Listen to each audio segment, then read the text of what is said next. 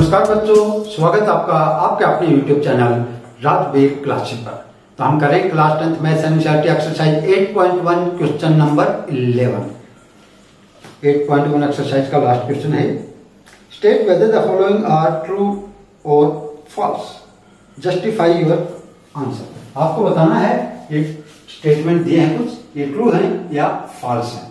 और आपको अपना जस्टिफाई करना है आंसर पहला है of tan A is always less than one but tan A की वैल्यू हमेशा वन से कम होती है। टेन ए क्या होता है? परपेंडिकुलर अपॉन बेस है ना? यही केस ले लो अपना। फाइव ट्वेल्व एंड थर्टीन का।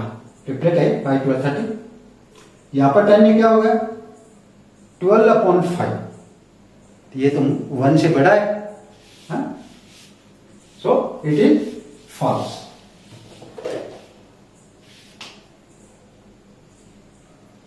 F E L S E false क्योंकि it may be less than one may be more than one less than one भी हो सकता है और मोर देन वन भी हो सकता है. डिपेंड करता है बेस और परपेंडिकुलर कैसे है?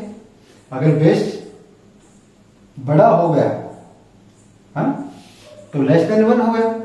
अगर बेस छोटा हो गया परपेंडिकुलर से तो मोर देन वन दूसरा है sec A equal to twelve by five for some value of angle A for some value of angle A sec A twelve by five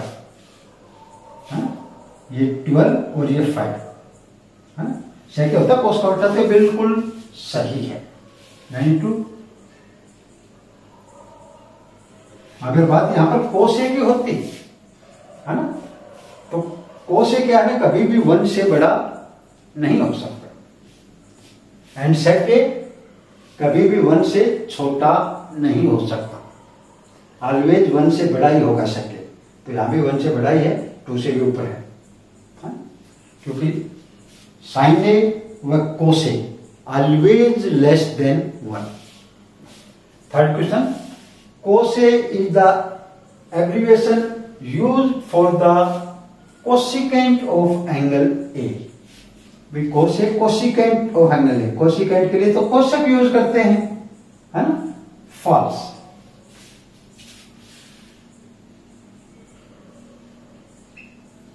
तो ये फॉल्स होगा कोसे हम करते हैं कोसाइन ए के लिए एब्रीवेशन यूज़ कोसाइन ए उसके लिए हम कोसे लिखते हैं। नेक्स्ट है। Cot A is the product of cot and A. ये भी बिल्कुल फॉल्स। कोटे जो है, वो कोट व ए का प्रोडक्ट नहीं है। Sin theta is equal to four by three for some angle theta किसी एंगल थीटा के लिए मान लो एंगल थीटा है तो sin theta is equal to four by three. Not possible क्योंकि ये वन से बड़ा है। और ये ऑलवेज वन से छोटा हो, क्योंकि साइन थीटा होता है परपेंडिकुलर बाई हाइपोटेनस हाइपोटेनस सबसे बड़ी साइड है, वो ऑलवेज डिवाइड में आएगी बड़े वाली। जो भी बड़े वाली है, इनमें वो ऑलवेज डिवाइड में आएगी, चाहे साइन थीटा हो या कोस थीटा। तो ये भी फॉल्स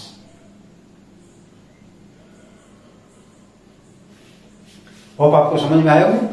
अगर मेरे वीडियो आपको समझ में आ रहे हैं, चैनल को सब्सक्राइब नहीं किया, सब्सक्राइब कीजिए, मेरे साथ रहिए और 100 आउट ऑफ़ 100 का टारगेट बरकरार रखिए। थैंक यू बच्चों।